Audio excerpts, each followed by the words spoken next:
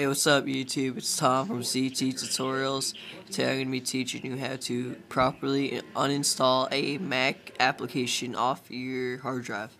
So a lot of people think if they go to their Finder window, then applications, and then just drag and drop an application into their trash, it's fully uninstalled.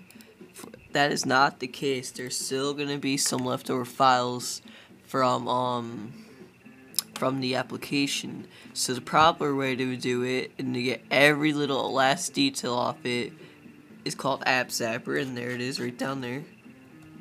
App. It's not a free application, so you're gonna have to purchase it. But I might put a serial in the description for all of you guys.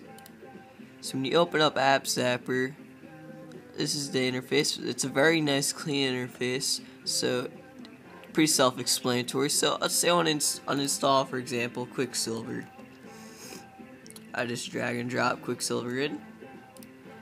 Zap. Now I can just quit the application and empty my trash.